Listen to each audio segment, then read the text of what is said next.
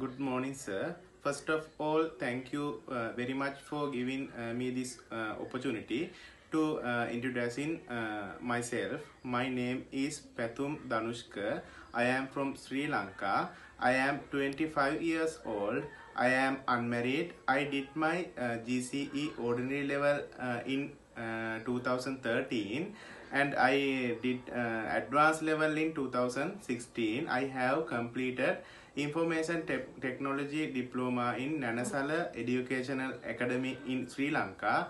If I talk about my working experience, I have uh, IT assistant in commercial bank, two years experience, uh, and I have sales assistant, uh, one year experience in uh, Dilaksha group of company in Sri Lanka. I am fast learner and uh, very good hard uh, working team player.